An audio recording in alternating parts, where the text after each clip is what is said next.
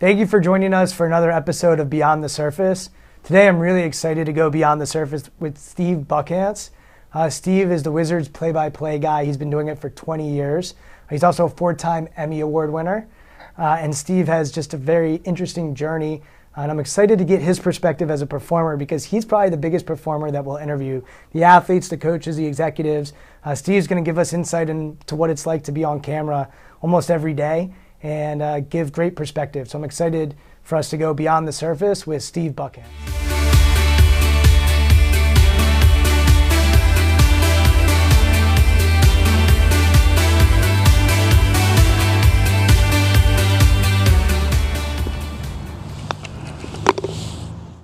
So, Steve, I'm excited to have you, not just because I've been listening to you since I was like, I'll show my age here, about about 10 or 12 years old. That sort of shows my age, too. Yeah, a little. I think, did you start with Home Team Sports or is Home Team Sports already gone? Well, I started with Channel 5, Okay. and that even in it of itself was not a start. That was my fifth TV station that I worked for. Okay. Uh, I got into this business in college in 1974 in radio at a place called Madison College, which became James Madison University.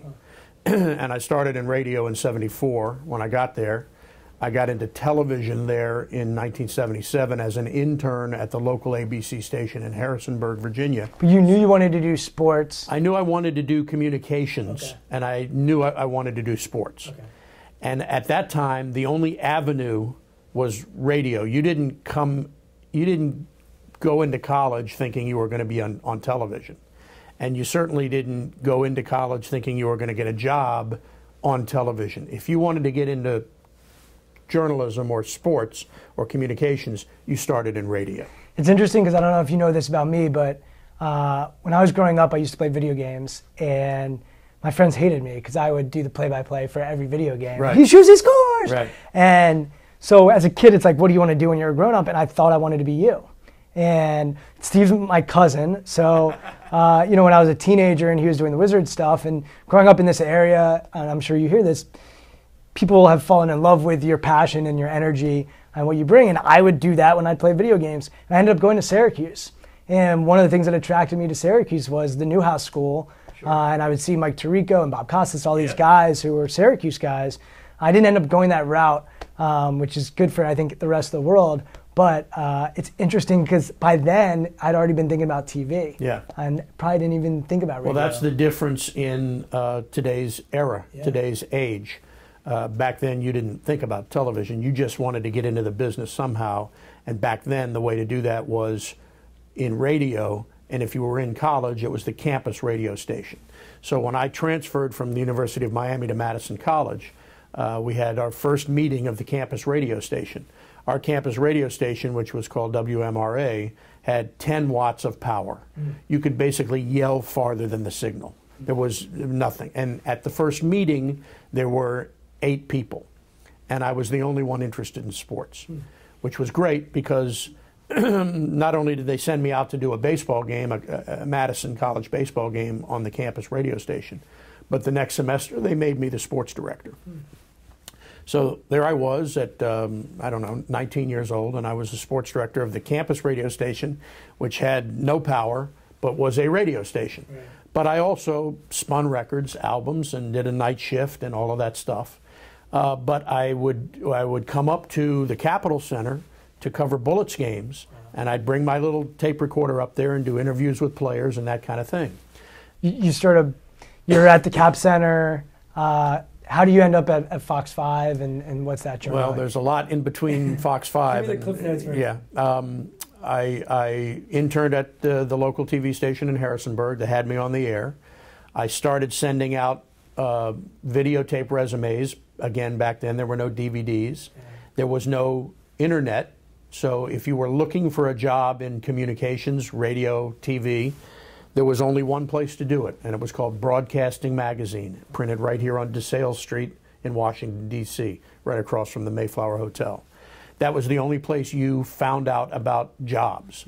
You looked in the back of that magazine, and in the classifieds, it said opening for news guy or weather or sports. Well, that's how I got my second job. I applied out of broadcasting to a station, didn't say where it was. It said the Sun Belt. I'm thinking beautiful Florida, whatever. Wound up being Chattanooga, Tennessee. And at this time, is the dream job in your head to be one of those weekday guys on a news channel? What's the dream job at that point? Well, there's there was no dream job. I set little goals for myself along the way. I never said. I mean, ultimately, I'm sure I would have. Uh, in the back of my head, I was saying, "Hey, I'd love to get back to Washington and be in my hometown." But when you're 20 years old and you're working in the 196th you know market in the country, right.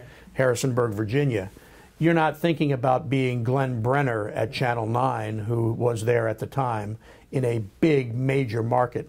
You're just trying to move up through the ranks, climb job, the ladder. Really well. You, you, you, move, you hope to get to the next TV station, and then from there you hope to get to the next one, and from there you hope to get to the next one. And if that leads you to a place like Washington, perfect. Right. That's how that worked. And that's what I did. Uh, Chattanooga was the 71st market in the country. I was there a year and five months. I applied for a job in Nashville, Tennessee, which was the 30th market in the country at the time. Much bigger market, state capital, much better television station than the one in Chattanooga. Did weekend sports there in Nashville. I was only there 10 months. Applied for a job in Atlanta, Georgia. Got a job doing the weekend sports at the biggest and best TV station in the South, WSB TV and uh, they were number one in Atlanta forever. And uh, got a job there doing weekend sports, and um, was there for three and a half years. Then started looking to move up, and at that point from Atlanta, I could make the jump to Washington, which I did. I got a job at WTTG Channel 5, which at the time was owned by a man named John Kluge, who has since passed away, but was in Charlottesville, one of the richest men in the country. Uh, owned our TV station, WTTG, and five others, one in New York, Los Angeles, San Francisco, big time TV stations. He ended up selling those six TV stations to Rupert Murdoch, and they became the Fox television network. That what you see on Fox today started with six TV stations, including Channel 5 in Washington. That was my next job. I did weekends there to start, and then they made me the weekday guy. And, and then when I was doing TV there, anchoring the sports, I started uh, doing play-by-play in different areas. I did Georgetown games, which are aired on Channel Five. So talk about the transition from doing uh, those three-minute, seven-minute clips right. to having two and a half, three hours, yeah. three and a half hours. Whatever. Yeah, it's an interesting transition um, because. Uh, I knew I loved doing play-by-play, and I had done that even in Atlanta and even as far back as Nashville. Uh, I did a game once with Sam Jones, was my uh, my color guy, and uh, just because he was a sports, he, he, he had a tie to one of the uh, coaches at Tennessee State University uh, uh in uh, Na- in Nashville, and uh, we ended up doing the game together, which was very cool for me. But um, for me, I was doing a lot of freelance play-by-play at Channel Five. Uh, not only um, Georgetown games, as I said, but Big East games. And then I did the Navy football on the radio for seven years, from 91 to 97. And when Fox came to, when Fox got football, and that was the whole Rupert Murdoch thing after he bought the six stations from John Kluge, uh, Fox got football in, uh, you know, the late, uh, well, Metromedia became Fox in the late 80s, and Fox became uh, carrying football in 1994.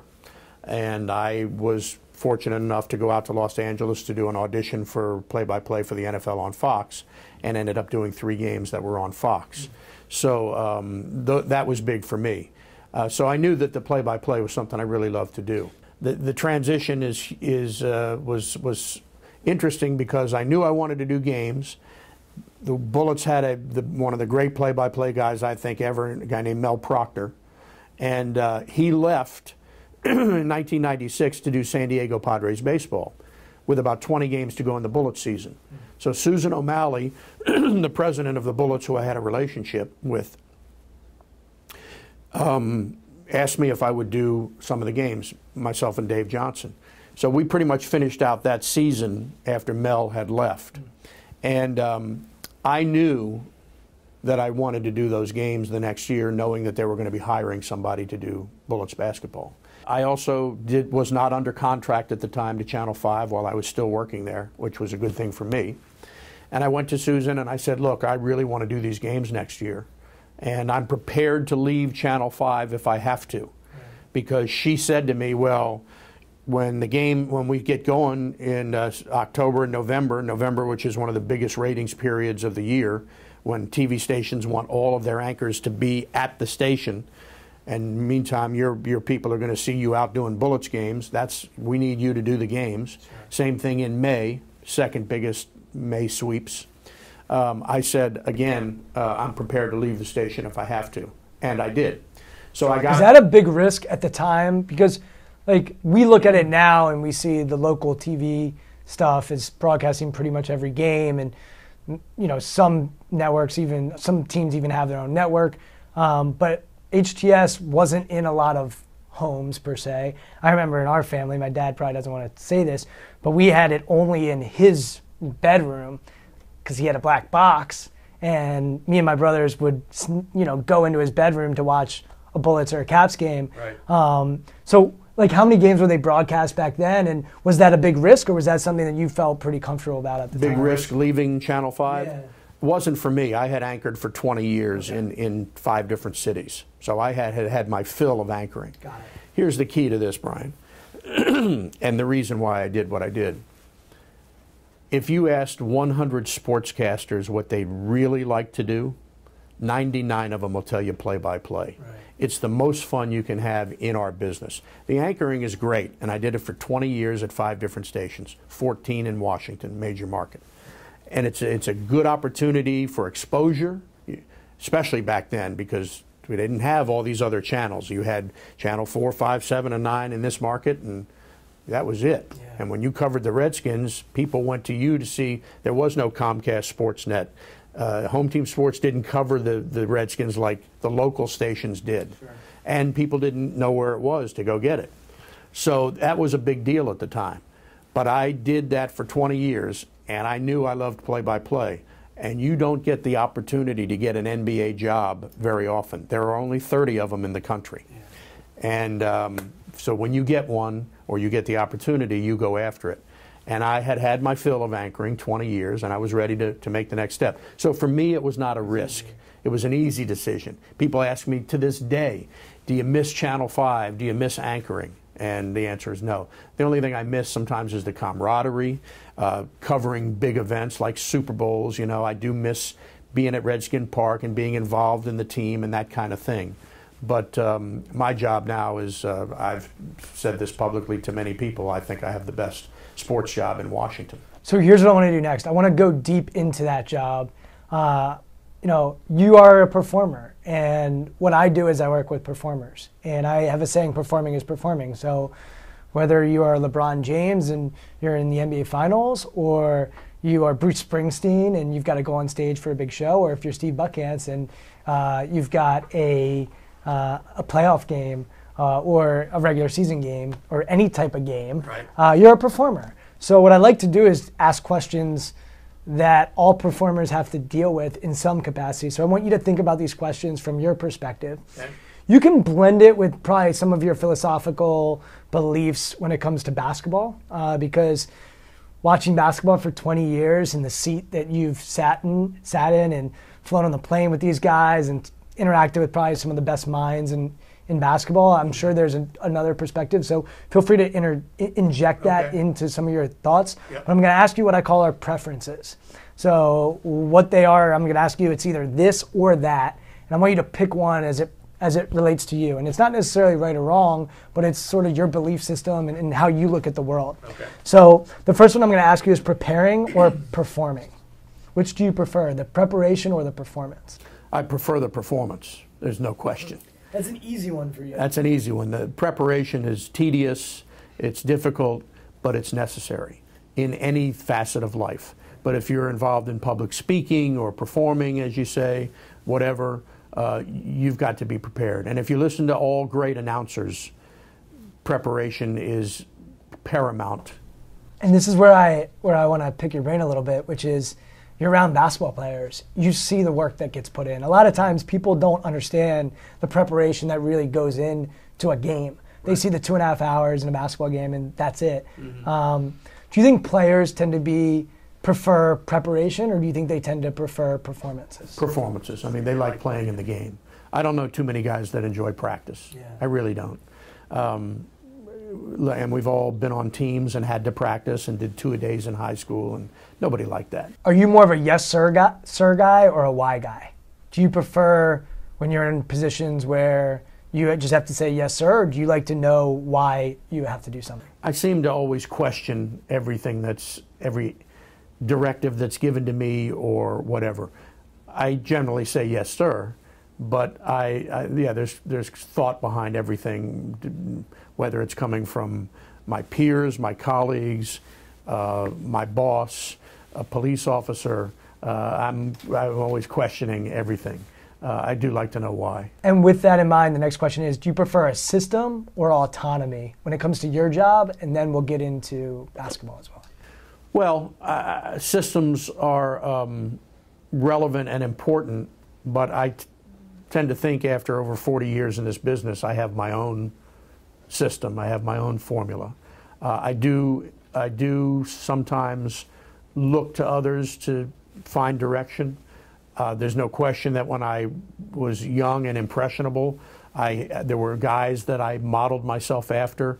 What you're talking about there is so interesting. I, I saw Aaron Rodgers interviewed last night, and he talked about, you know, watching Tom Brady, like literally every play of Tom Brady during a year. Yeah. Uh, and that's a peer to his. Sure. Uh, but when he was starting out, and he's younger than Brady, you know, he's like, yeah, I'd watch every play that he would make because I wanted to try to steal things. And mm-hmm. I think one of the things that athletes today, it's like, oh, I'm not, I'm not trying to be like Michael Jordan, or I'm not trying to be like Kobe Bryant. It's like, okay, I get that, but you can still watch them and steal things. And, you and, can. and take. I, I, th- I don't think there's any question that people emulate other people. However, I also believe that you develop your own style. I mean, you can't help but develop your own style unless you are just a copycat and you just mimic yourself completely after another person. And there are people that do that.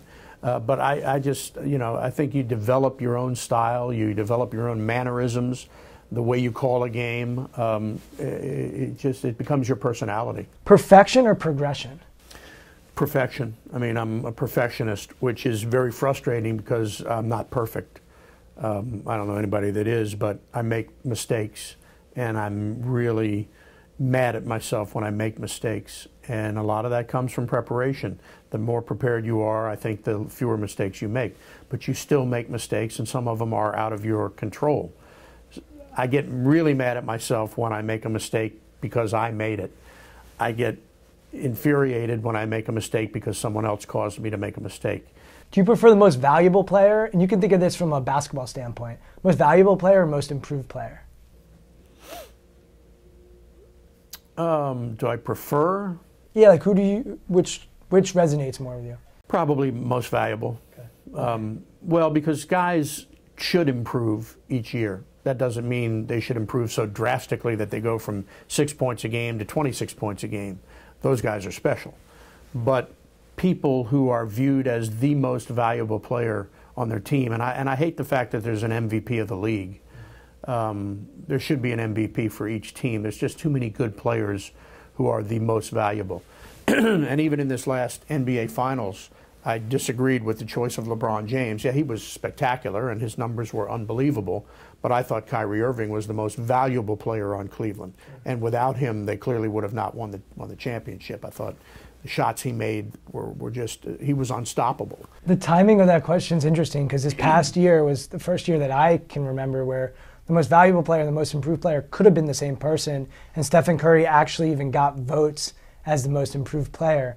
Uh, so it's an interesting dynamic because I think in some ways our society loves the improved. We cheer for the underdog, the guy that gets better. Uh, I think it's part of what makes Steph Curry so marketable. Yeah. Um, yet there is something to be said for the guy who the light is on and they still say, okay, I'm okay with that light, that spotlight on yeah. me. And for your job, there's literally a spotlight on you, and you have to almost be okay with that spotlight and say, yeah, give me the mic. I want the mic in my hand yep. for that last call. Yep. So it's interesting to get your perspective on that.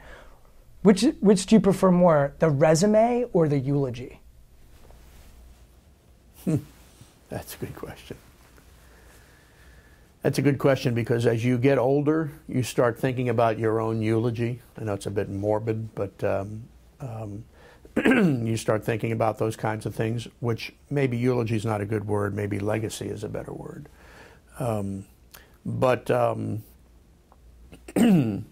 uh, you know, my resume is pretty full at this point.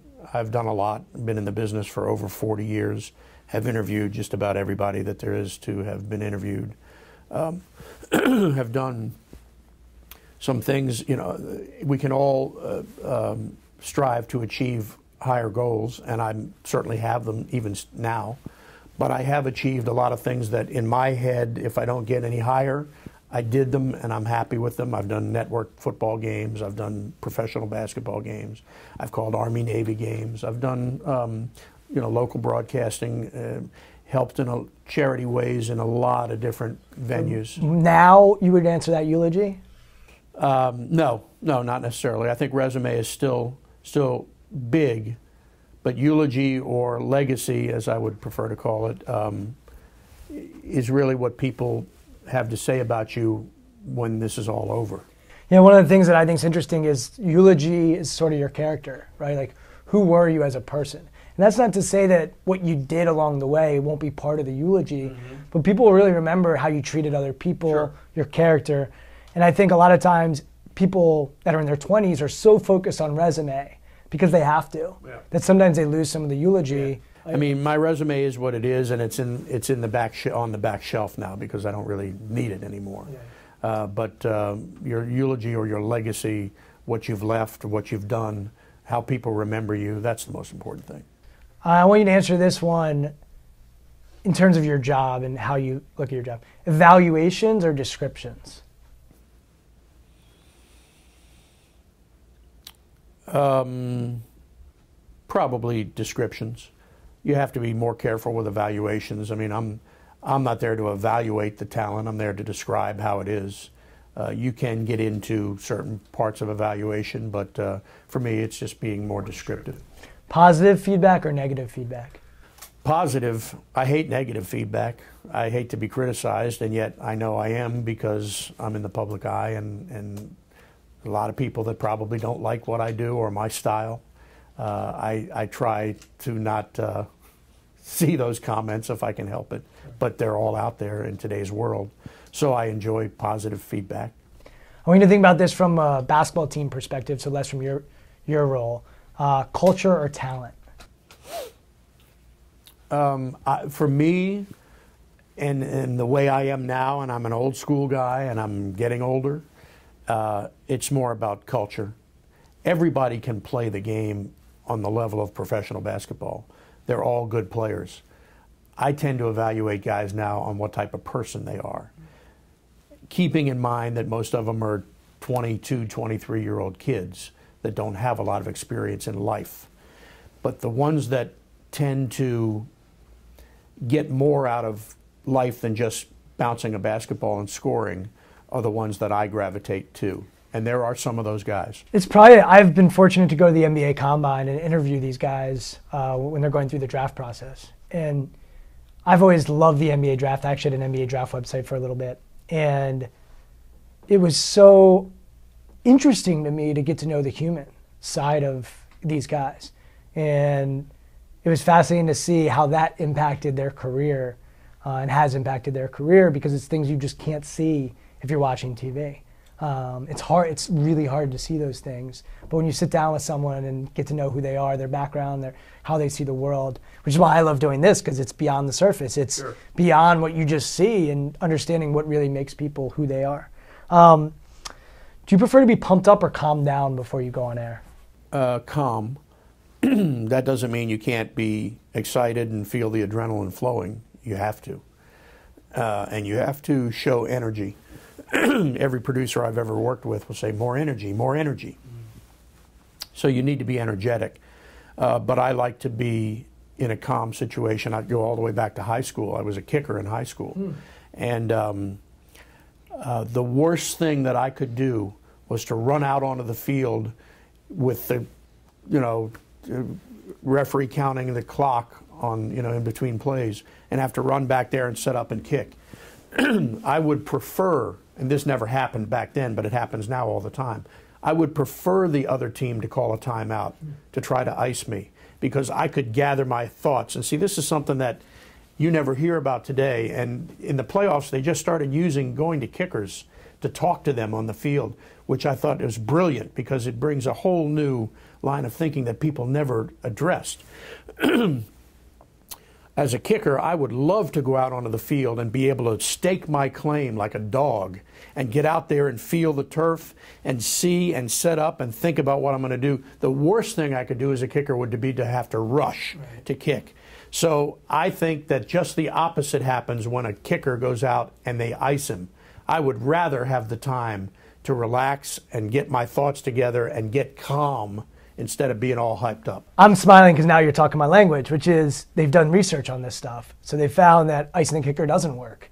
Uh, and I think they actually perform better. And I saw uh, Robbie Gould, the Bears kicker, interviewed. And he said, "Yeah, I can just get back into my routine. It's for me, it's all about can I nail my routine? Can I? I'm so routine oriented. So to your point, if that routine is rushed, I'm going to be in trouble. But if I can give me a few more seconds, I'm going to be in my routine. Yeah, yeah. I'm going to be good. They also looked at it in the NBA for free throw shooting, and they found they found the same thing. I think when they ice a guy before he shoots a free throw, uh, he shoots 76% from the line, um, and if they don't ice him, it's like the same percentage. And the same thing happens with kicking. It's fa- it's a fascinating it study. Is. Would you prefer to be liked or respected? well, I would say respected because I think if you're respected, while necess- that doesn't necessarily mean everybody's going to like you, I think the majority of people that respect you like you. Love winning or hate losing? um, that's a really good question. I love winning, and I hate losing. Give me one. Um, uh, probably hate losing.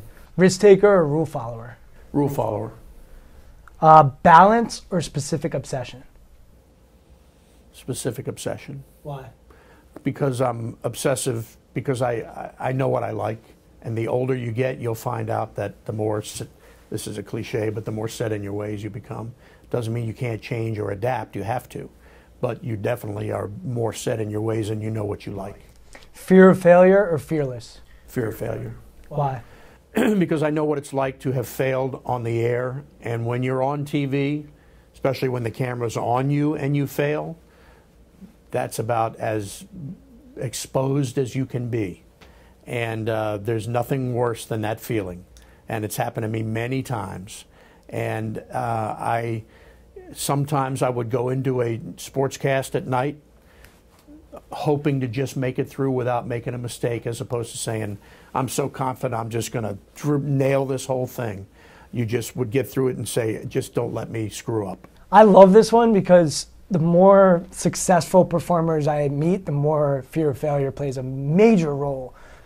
There's quotes from Kobe, there's quotes from Michael Strahan, uh, Serena Williams, Usain Bolt. They all talk about the fear of failure being a huge part of their success. Yet, if we go to any college campus in May for a commencement speech, the message that often gets delivered is don't be afraid to fail. And I understand why they're saying that message. They're saying go for it, you know, try things. But the message that's sometimes getting lost is no, you also have to have a healthy fear of failure and understand that no, I'm not failing. It's not going to happen. Not on my watch. I'm going to do everything I can to make sure I don't fail. Well, and that's, you know, I think that's the biggest thing that needs to be imparted to young people today, which I don't think a lot of commencement speakers do. Yeah. And that is, and I say this to people all the time, and I, I quote the Rolling Stones song you can't always get what you want, but if you try, sometimes you get what you need. Yeah. You can aspire. You know, when somebody for people only in my, I can't speak to any other business, but in my business, when I used to hear people say, you, you can do anything you want to do. What a crock that is. you can't do anything. I wanted to be an astronaut. Well, I wasn't good enough in math to be an astronaut, and I didn't go into the military. I did the next best thing for me. I got my pilot's license. Right. You, you, know, I would love to be Jim Nantz, yeah. who has the greatest job in the world, but it ain't going to happen. So do the next best thing that you can where you can derive satisfaction from that. For me, you know, I have one of 30 jobs in the country doing NBA play by play, and it's a great job. And I've had a great career. so I think you have to be careful when you say to someone, you can do anything you want to do. That, that's not true because there are other people that may control your destiny, not just you. In my business, especially, if somebody comes in and they don't like the way I look, I may be out of a job just because of the way I look, or I'm not the right uh, skin color, or I'm not the right, my face doesn't look, or I'm not the right gender for what they're looking for. That's my business, and that's one of the harsh realities of my business. I think one of the things you've hit on during our time together is find out what you're good at, work your ass off at that, keep focusing on the, you said small goals. Right. Keep focusing on what you can do right here. I use the phrase be where your feet are. Set your goals high and try to achieve them. Right. But if you can't get there, then get the next best thing and don't stop trying to achieve that high goal. Always go after it. Uh, the late Glenn Brenner gave me some of the best advice I ever heard growing up. In fact, I was just moving from Harrisonburg to Chattanooga, and he said, if you throw enough shit against the wall, some of it's going to stick. In other words, it's like golf. If you don't get it to the hole, it's got no chance of going in. You got to at least get it there. So keep trying, keep trying. You'll get knocked back a few times. Get up and keep trying. You may not get what you want. I may not be the anchor of NBC Nightly News, which I'm pretty sure I'm not going to be at this stage of my career. I may not be Bob Costas or Jim Nantz, but I'm going to get what I what's going to make me happy, and you have to be satisfied with that. Absolutely. Well, I want to thank you for coming in. I know I put you on the hot seat here. Uh, I'm not surprised, but you did a great job. It was fun for me to see you on this side of things. Uh, hopefully, it was a little bit fun for you. And uh, for me, it's fascinating to hear your perspective on performing and your ma- mindset, your mentality, how you see the world. Uh, and I think, honestly, a lot of athletes, uh, coaches, other people can benefit from hearing that perspective and how you look at it because we're all performers in one way, shape, or form in our life. And if we can learn from people that consider themselves to be performers, which are, by the way, all of us, uh, hopefully there's something to be gained. So thanks for coming in, sharing your time. Uh, cousin Steve, uh, and thanks for going beyond the surface. Thanks, Brian. Enjoyed it.